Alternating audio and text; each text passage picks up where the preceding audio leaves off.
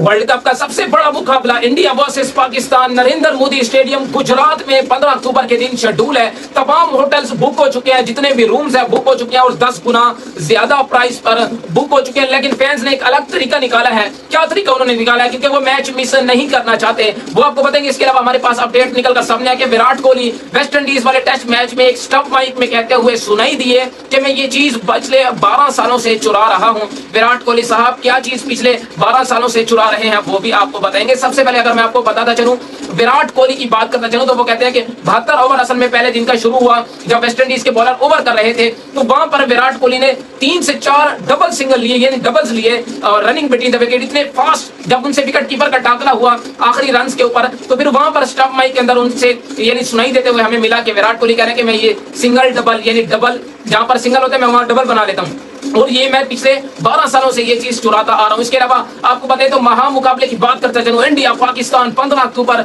Narendra Modi stadium Gujarat में schedule है। Update ये आ रही है कि तमाम होटल्स तो बुक हो चुके हैं, लेकिन फैंस ने अगर टिकट लेनी है तो वो मैच मिस नहीं करना चाहते। इस वक्त जो है वो अपडेट आ रही है कि जो इर्द गिर्द जितने भी हॉस्पिटल्स हैं, यानी प्राइवेट जितने भी हॉस्पिटल्स हैं, उनके जो प्राइवेट रूम होते हैं, अब वो फैंस बुक कराना शुरू हो चुके हैं। ये कोई मरीज़ तो नहीं है, लेकिन क्रिकेट फैंस हैं। अब वो मैच भी मिस नहीं करना चाहते और वहाँ की रिपोर्ट के मुताबिक बताया जा रहा है कि जितने भी इर्द गिर्द स्टेडियम के इर्द गिर्द जितने भी हॉस्पिटल है, उनके प्राइवेट रूम जो है, अब वो बुक कराए जा रहे हैं।